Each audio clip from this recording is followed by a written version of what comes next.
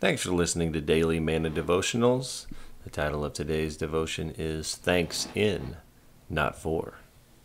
Uh, if you haven't already, make sure you hit the thumbs up, comment down below, hit the subscribe button, notifications on, all that wonderful stuff so you can get this message every day and so the YouTube algorithm will share it throughout the world. Uh, the scripture.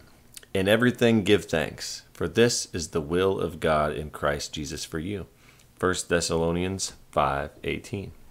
What could have motivated Horatio Spafford to pen the words to the mighty hymn, It is well with my soul? Before writing the hymn, he had lost his only son in 1871, been financially ruined by the great Chicago fire of the same year, and then lost his four daughters at sea in 1873, two years later. His motivation was likely the truth of 1 Thessalonians chapter 5 verse 18. In everything give thanks. Many claim the verse is unrealistic. How could anyone give thanks for events like Spafford endured? But the verse says to give thanks in all things, not for all things. God expects no one to be thankful for tragedies that befall us in this life but he does expect us to trust him in the midst of such circumstances. In those difficult times, we can thank God that he will cause all things to work together for good in our life. Romans 8:28. While we grieve for those events and the losses incurred, we can give thanks even while in their midst. Giving thanks when things are good requires enthusiasm, but giving thanks in hard times requires faith. If you are in the midst of difficulties, begin each day with a prayer of thanks. Prayer without thanksgiving is like a bird without wings.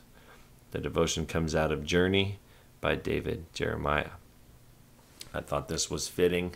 Um, for God did not choose this one. I actually chose this one. So uh, just got to put that out there. Uh, I thought it was fitting. I was looking for one that had to do with uh, giving thanks and, and Thanksgiving. So uh, this is the one that, that I landed on. Uh, to me, of course, uh, it's pretty straightforward what this means. Uh, give thanks in all things, in all situations, not for all things. So don't just give thanks for our houses and cars and all these things, but give give thanks in all situations, bad and good. Uh, I think that's something that we can all work on and given that it's Thanksgiving, I'm sure that there are some people that are listening to this that may be sick or going through a difficult time in some way. So, this is just your reminder to give thanks for all the things that you do have and for uh, the blessings that, you, that are in your life that God has given you. Um, give thanks in all things. Thanks for listening. God bless.